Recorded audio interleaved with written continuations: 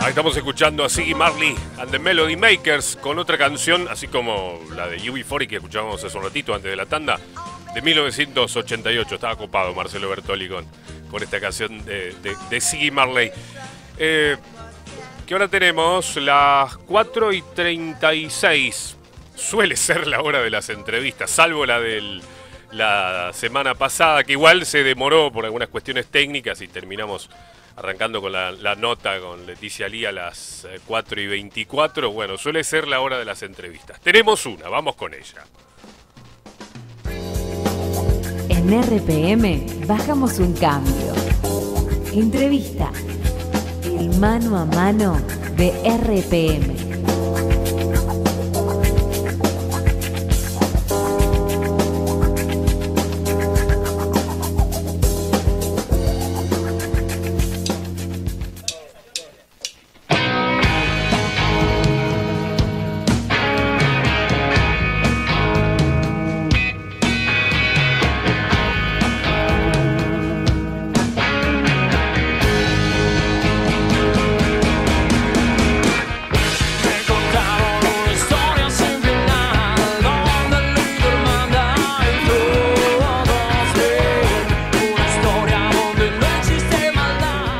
Estamos escuchando a modo de introducción un poquito de, la música de Ángel.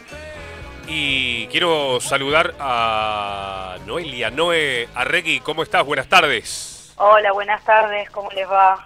¿Cómo estás, Noé? Bueno, te, enganchamos en pleno momento de trabajo, seguramente. Sí, sí, les pido disculpas por las idas y venidas, pero bueno, a veces trabajar en una escuela tiene estas cuestiones.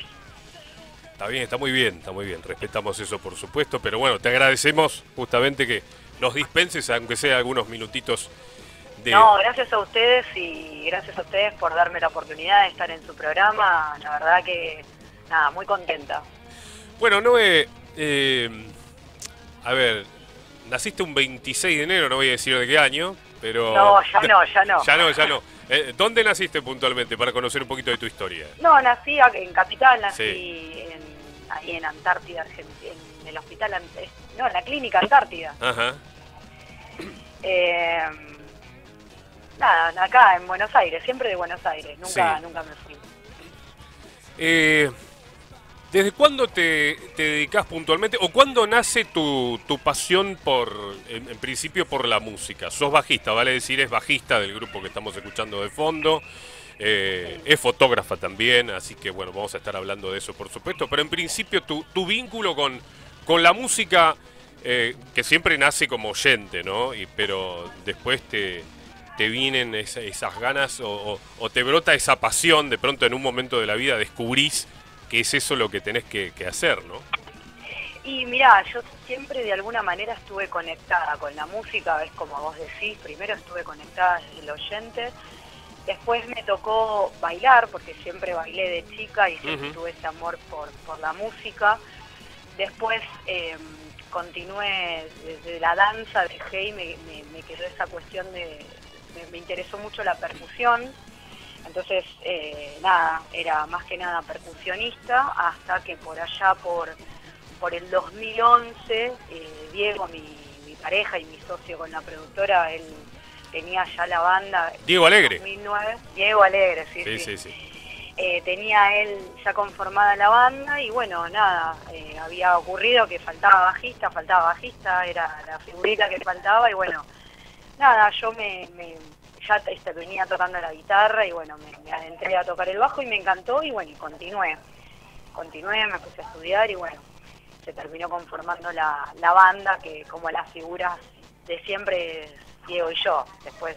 Claro, eh, claro. Nada, es como el proyecto que tenemos en conjunto y después, bueno, a veces viene algún batero, a veces siempre estamos con, artistas invitados, que bueno, que al tener la productora también eh, conocemos músicos y, siempre quieren participar en nuestro proyecto, como estaban escuchando ahí el, el live session que hicimos hace ya unos añitos que bueno, que estuvimos tocando con, con el grandioso Federico Casañas en batería y después estuvo eh, y Dizzy Espeche, que es un violero que tocó con artistas como Charlie García y, y, Cerati, y, bueno, Izzy Gainza, que también estuvo ahí eh, haciendo sus aportes con su guitarra electroacústica.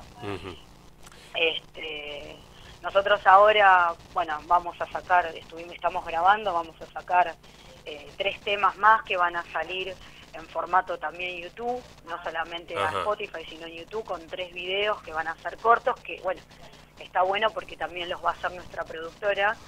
Eh, los vamos a es como un proyecto integral música y video ¿viste? es muy ambicioso porque a nosotros también amamos el cine y, y los videoclips o laburar con artistas es como eh, juntar las dos cosas que amamos el cine y la música y es como cómo interpretar la música y verla y explicarla, no, es, algo que nos encanta, nos apasiona. De hecho, de hecho los vi trabajar, te cuento, el sábado pasado en Museo Rock. Ah. Eh, eh, estuve ahí, te iba, en un momento te, vi tan ocupada, no me dio tiempo como para saludarte, para acercarme. Eh, estuviste con, en el show de la G3. Sí. Este, tremendo, ¿no? Lo de Karina Alfielo, de Yamila Amaro, María Sol Quinta. Realmente fue fue eh, eh, en mi caso en mi caso la primera vez que me tocó verlas ver a Karina tocar la guitarra la verdad es un espectáculo. es unas grosas las pibas totales después tocaron las Lel Ladies claro sí sí. La verdad que estuvo genial. La verdad que mm, el ser músico y tener una productora audiovisual eh, es como que te conecta también de otra manera, porque conoces todos los vaivenes, lo que le cuesta al músico hoy en día, que te vayan a filmar, que te vayan a sacar fotos, conseguir el lugar. Es como que está muy bueno y, es un plus, es un plus que tenemos con la productora, el hecho de ser músicos nosotros es un plus porque claro, claro. nos apasiona y sabemos lo que cuesta y y nos vinculamos con gente que queremos, está buenísimo, la verdad es que eh, el hecho de, nunca se me hubiera ocurrido, o sea, laburar con músicos, vino una amiga y me dijo, ¿por qué no haces algo con los músicos, ya que estás en ese ambiente? Y bueno, nada, siempre me gustó la fotografía y bueno, ahí, ahí metimos y juntamos todo. Diego estudió cine, así que bueno, ahí juntamos pasiones y, y no solamente tenemos lo musical, sino tenemos la productora que, bueno, que es ahí nuestro otro hijo. Claro, seguramente. Bueno, pero el, el sábado, por ejemplo, fueron exclusivamente para lo de G3. Claro, el sábado fuimos a cubrir eh, el show de las chicas del G3 que nos llamaron. Eh, pero sí, puntualmente fuimos para eso. Claro, claro, claro. Porque después al ratito comenzó Let Ladies y bueno, ya ya no estaban. Dije, uh, me perdí saludar a Noé. pero, pero bueno, no falta la oportunidad. porque la realidad es que eh, más allá de que nosotros tenemos nuestros trabajos, yo también soy antropóloga. Sí, te iba, te iba a preguntar sobre eso también. Había, había leído en tu, en tu perfil de Facebook que estudiaste antropología en la, en la UBA. La UBA. Sí, sí, yo soy antropóloga y ah, bueno, eh, trabajo en tres escuelas como orientadora social eh, en una secundaria y dos jardines.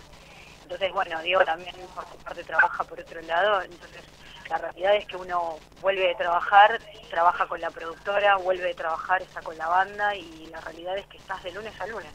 Exacto. Lo cual a veces es como que no, no te da el cuerpo. Terminó y dijimos, bueno, no damos más. A veces pasa eso, ¿viste? Porque capaz que al otro día tenés que tener una producción un domingo. Este, la verdad que estamos laburando bastante y, bueno, es, es, es un tema. Estamos todo el día full. ¿Y qué es lo que te, atrapó puntualmente de la antropología? ¿De la antropología? En realidad creo que mm, más que, colgarme el título de la carrera, lo que me enseñó la antropología es una forma de, interpretar la realidad, digamos. Eh, dar cuenta de que todo, sí, todo, todo lo que nos conforma es una construcción y tiene mucho que ver también con, con problemáticas mías adolescentes, ¿no? Es como fue muy o sea, como muy de Iván, eh, decírtelo, pero eh, la realidad es que mm, es liberador eh, el hecho de saber que es toda una construcción y a su vez es apasionante el hecho de, estudiar cómo eso se construye. Claro, sí, sí, sí. Entonces es como, nada, me atrapó desde ese lado, yo en realidad entré un poco por ese lado, tenía una familia muy religiosa donde me dijeron que dudaba de mi fe y que bueno, fue todo un, fue todo un caótico claro, entro a esa carrera, pero entro muy de, desde la pregunta, desde preguntarme de, por qué las cosas están como están y por qué son como son. Y bueno, la carrera te va atrapando, pero te va atrapando no en el, en el después, si bien vos podés hacer investigación o docencia, te atrapa, eh, yo creo que me enseñó a mirar, me, me reeducó en la mirada que tengo hacia las cosas y cómo eso permió después el resto, como mi, mi, profesión y también eh, en la música y la fotografía, en la mirada de la fotografía, porque si bien a mí me contratan y yo puedo hacer trabajos puntuales, a veces tener mis propios proyectos eh, o, dar esa vuelta de tuerca de, hacer fotografía más desde, no sé, desde una no sé, desde una problemática actual, ¿no? Decir, bueno, hacemos una producción y qué te parece si hacemos esto. Tengo muchas producciones con, con Ariana eh, Ariana Falco, que es de las chicas sí, de la Sí, sí, Te iba a preguntar sobre sobre sobre Ariana. ¿Qué es Ariana para, para vos puntualmente? ¿Es una amiga, una referente? ¿Cómo la defines? Amiga, eh, Ari es una, es una amiga y una referente hoy en día. Para mí es una, una bajista que, que tiene que tiene buen gusto. A veces tocar mucho no tocar bien no significa tocar mucho. Eh, a veces tocar bien significa tener gusto, tener buen gusto en la tocada, en cómo suena, eh, si es prolijo, cómo, cómo interpreta la música. Me parece que eso suma un montón. Fue una de nuestras primeras entrevistadas, eh, Ariana. Una sí, sí, sí, la amo a mi amiga Ariana. Sí, lo sé, lo sé. Eh, ¿qué, ¿Qué es cara de póker puntualmente? ¿Cómo, cómo definirías la productora? El nombre de cara de póker es en un momento de, de mi vida es, es, esta cuestión de, de, tenés miedo, pero le tenés que poner cara de póker a la vida y hacerlo. Claro, claro. Es simplemente eso. En un momento de mi vida eh, donde me había desvinculado de la empresa donde trabajaba, una empresa privada, siempre estuve en el sector privado, justo me habían dado el título, justo me habían dado la plata de la indemnización y me iba a poner un kiosco. Y bueno, siempre me gustó la fotografía y en ese momento mi socio me dijo, ¿por qué, ¿por qué esto? ¿Por qué no poner la fecha, las fichas acá? Yo decía, este pibe está loco, no sé lo que me dicen. bueno, nada, eh, me empezaron a llamar, me empecé, obviamente me capacité, pero me empezaron a llamar y al principio te da ese miedo de decir, voy a poder hacer esto y nada, claro, la misma, cara de póker y hacerlo. Y ahí quedó el nombre. Está muy bien. Está muy bien. Pero... Es que todos somos así. Sí, sí, sí. En alguna parte, o te anulás o avanzás. Nadie sabe todo, todo, todo perfecto. Exacto. Sí, sí. Vos cuando entras, no sé, estás en la radio, decís, al principio hay muchas cosas que, que nada, no te hacen no te hacen menos profesional, pero hay cosas que las aprendes en el hacer. No, totalmente. la realidad es que cara de póker es eso, seguir aprendiendo con cada proyecto. De hecho, incluso incluso cuando este programa tiene un mes y pico y la radio pocos meses. Cuando me ofrecieron esto, eh, dudé, es decir, eh, y al final terminé mandándome, es así, cara de póker y me mandé, y acá estamos. Totalmente. Es que es así, te la tenés que jugar. porque si no te anulas, ¿cuánta gente conozco que sabe muchísimo y está anulada porque piensa que no es capaz? Por eso es como que creo que es como medio una filosofía de vida. Eh, y bueno, nada, es como que trato, es así, en mi vida es así, es eh, eh, situaciones que, que uno, o obstáculos o problemáticas o situaciones positivas que uno atraviesa y que a partir de ahí uno termina aprendiendo algo, ¿no? Sí, bueno, en cuanto a Ángel, em, que tiene un, digamos, es un nombre particular, porque uno dice Ángel y cualquiera supone que se escribe el encierra claro, una doble connotación quizás, Ángel, pero eh, es con H en el medio, eh, Hell, ¿no? Doble L, por infierno. Eh, pero bueno, de todos modos... es como un nombre que encierra un yin en sí mismo. Sí, sí. Una cosa así. De todos modos decía, el diablo fue un ángel, ¿no? Que se reveló. Totalmente entendiendo que la religión es una construcción, ¿no? Entendiendo que, bueno, que uno trata de ver la dualidad, bueno, malo, oscuridad, luz, pero bueno, eh, uno trata de, yo trato de ver las cosas como matices más, más grises, entonces por eso ese nombre, ¿no? Seguro. Nadie es bueno del todo y nadie es malo del todo. Y no creo que la gente compre eso hoy en día. Bueno, no es. Eh, dice que te terminás, eh, no sé, tenés una novela o algo, te terminás enganchando con el malo porque lo entendés. Claro, claro, claro. Es verdad, totalmente. Eh, no, bueno, así como te decía que te vi laburar a full el sábado pasado ahí en, en Museo Rock y te he visto en algún que otro evento también. Te he visto tocar, he visto a la banda puntualmente en Maquena cuando estuvieron antes de un show de Let Ladies eh, si no me equivoco, fue en diciembre del 2018. 2018 fue seguro, a fines. Sí, sí, sí. Eh, así que bueno, me, fui un rato. ¿Te gustó? Sí, me gustó mucho, me gustó mucho la banda. La verdad que sí, me, me, sorprendió. No tenía mucha data en ese momento, así que fue, fue una, un muy buen aperitivo para lo que había ido a ver. En realidad que era justamente a, a Leticia, bueno, a las chicas. Este, y, por eso puntualmente me, contacto contigo para, para, esta, para esta nota. Me, me, pareció muy interesante sobre todo esa dualidad ¿no? de tocar el bajo y de dedicarte a la fotografía o esta, a todo lo que tiene que ver con la productora cara de póker que hacen realmente cosas maravillosas y que me, me parece que merecen ser este eh, difundidos. De, nombranos, Te agradezco. Nombranos las redes sociales puntualmente, la, tuya, la de la banda. De la banda eh, estamos de la banda estamos como Ángel Ángel Rock, nos buscan en Spotify, eh, en Instagram estamos como arroba Ángel Rock. Hay videos en, YouTube, también tienen su, su página. Sí, cuenta de YouTube. Eh, sí, en Ángel están, si ustedes ponen Ángel Rock, estamos en Facebook, Instagram y YouTube. Y Spotify, donde van a poder escuchar nuestra música. Y con respecto a Ángel, de acá a unos meses vamos a estar largando el videoclip o sea, van a ser tres videoclips con, va a ser como, es muy, eh, no me sale la palabra, es muy ambicioso, pero vamos a sacar tres cortos, tipo de terror, o sea, no te quiero contar mucho, pero bueno, esta va a estar buenísimo, son tres videoclips con eh, la música y va a salir por las plataformas de Spotify y por YouTube. Eso con respecto a Ángel y después de Cara de Póker, estamos como cara, eh, www.caradepoker.com.ar también estamos en Instagram como arroba de cara de poker prod y, eh, y en Facebook. también, eh, también creo que tenemos cuenta en YouTube, así que tenemos todo.